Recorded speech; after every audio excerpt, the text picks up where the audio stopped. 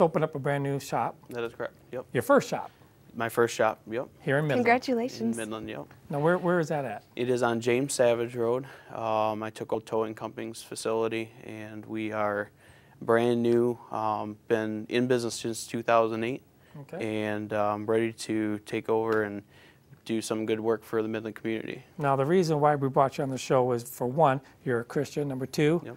the, the name of your business, Higher Standards. How did you come up with that? Um, my friend and I, we had wanted to start um, a business together, and we were trying to toss up different names. And uh, Higher Standards was basically trying to say meant in the name of how we wanted to take care of it, our customers Okay. and to establish a work ethic.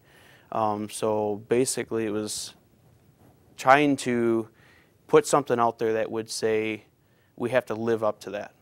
Very good. Integrity. Yes, exactly. And you're a faith man too. Yes, we are. I've known you for about a year and a half now. You're a very good man, family. I've been to your house. Um, I know your family. Um, now, when now it's about the faith thing. You you're operating in faith, Yes, we and and you also go to what Celebration Center. Christian Celebration Christian- Center. Yep, this is my home church. That's your home church, and so basically, you're. I like to. I asked you earlier about what. Uh, what are some? Give us our, our viewing audience. A, we we're running out of time.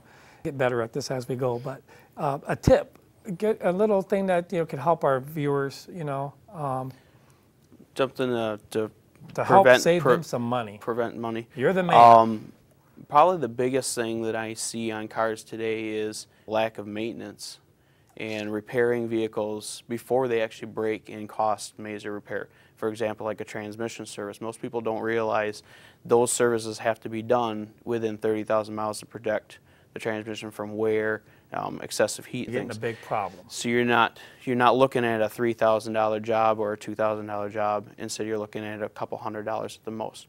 Um, simple maintenance is like those protect and Oils, save you money. waters, stuff like And that. coolants, um, like Okay. coming in the summertime, a coolant is either full.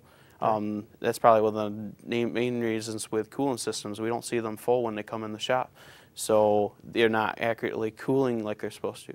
So just having even coming in for regular maintenance checks, um, these are fun or easy to do, but they don't necessarily check all those fluids and make sure that you're working at 100% every time. So, so, so basically, if we go to higher standards, you know, I, I, that's where I take my vehicle. But if I, if those were to, Hmm. uh, they're going to get some integrity. They're going to get some. They're going to get some real. We're going to be honest, and, and that's what we're looking you for. You may not always show. like what you hear, but I'm going to be honest with you. Right. And uh, trying to bring the honesty back into the into the repair facilities That's is the I like biggest hear. thing. We need it. That's a big reason why people they don't like to take their car and because oh the mechanic they're just going to say we need this and this and this when really we don't. Exactly. So I'm, I'm nice- not here. I'm here to make money, but I'm trying to do it honestly And save and, people money. and save people money on the other end. Um, is how I look at it. So this is a.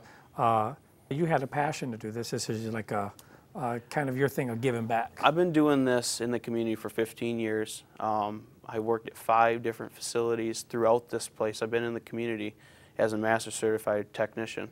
Okay. And to find the honesty and um, the truthfulness on the repair, faci- repair facility side is why I eventually said I need to do this myself because they're just everywhere I went it was not there.